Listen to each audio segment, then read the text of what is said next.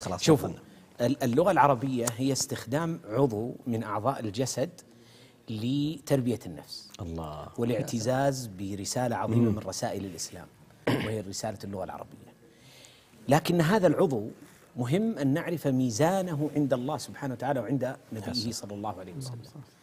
يعني في حياتنا جميعا لا بد أن نزن هذا العضو وهو اللسان ميزانه الحقيقي. صغير سهل حركته ما تتعب الجسد ومع ذلك أكثر ما يكب الناس على وجوههم يوم القيامة حصائد حصائد ألسنتهم. فلهذا العناية إحنا مشهدنا اللي قبل شوي في تذكير لنا وللناس إنه ال- هذا العضو مهم لإيصال رسالتك نعم. هذا العضو مهم لتوضيح مقاصدك من ضمن مهام العضو هذا أن نتعبد الله بالحديث بلغة القرآن ترى مسألة إن نعرف اللغة ما هي مسألة مسألة ترف. الذين يتحدثون الفصحى يقرؤون القرآن بإتقان. صح ولا لا أبو عبد الله؟ صحيح. وهذا تخصصك. لن تجد رجلا يتقن الفصحى إلا وهو يقرأ القرآن بإتقان.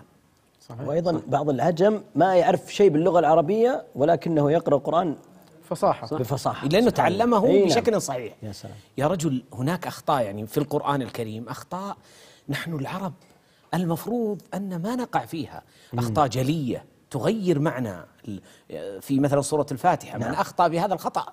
كأنه ما أقام الركن.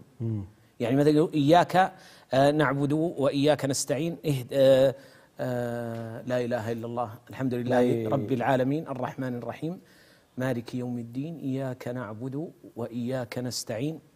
اهدنا الصراط إيه اهدنا الصراط المستقيم صراط الذين ها؟ وش القراءة أنعمت الصحيحة؟ أنعمت. بعض الناس يقرأها أنعمت. هذا خطأ. حرف المعنى. لحن جلي. أنعمت يا ربي سبحانك وتعاليت.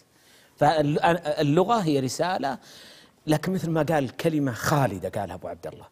اللغة العربية والفصحى ليس معناها أنك تتحدث بتفخيم صوت وبلبس معين ماذا تفعل أو؟ بجلسة معينة. حتى عند الأطفال لما يفهمونها أنا أذكر. والدي غفر الله له.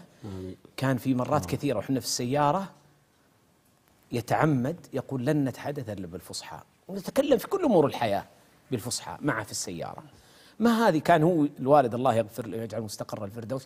كان يمثل يمثل علينا. يقول أنا تخيلوا أني جايكم من العصور القديمة. أنا جايكم وأسأل. فيقول ما هذا العمود الذي فيه إضاءات؟ فيجينا إحنا صغار نقول له هذه تسمى إشارة المرور. فاستقام اللسان آه، بهال بهالدربه وبهال ما ودي أستأثر بالحديث تفضلوا. لا أنا- سبحان الله تفضل. أنا تفضل. انطلق. يعني أنا أشوف يعني تأكيد آه،